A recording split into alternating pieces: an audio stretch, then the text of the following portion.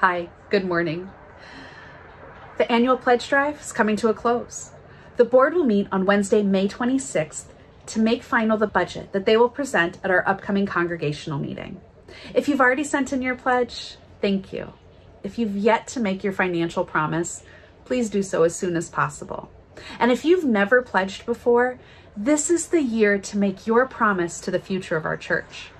An anonymous donor has offered a match for all new pledges up to a total of $5,000.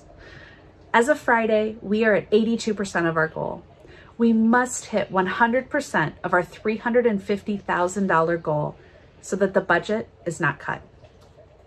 Think of our budget as the menu for our meal that is the next church year, and your pledge as you signing up to bring your favorite brownies or pasta salad or soup so that we can plan that full menu. A menu that shows our commitment to the values of inclusiveness, justice, individual freedom of belief, caring for our earth, and the worth and dignity of all people. Very soon, our services and sermons, our programs, and our member care will all need to be both in person and virtual. And that means a whole lot more work to be done to welcome and care for everyone at our table. Don't forget, we lost two positions during the pandemic our associate minister and our programming director.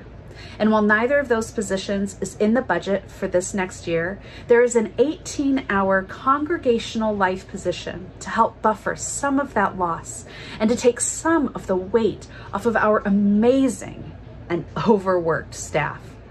We as a church cannot afford to not fund this position. As we look forward to the exciting changes that are to come, as we build this new day, as we plan our menu for the coming year, I hope you'll join me. We can't do it unless we all sign up to bring a dish.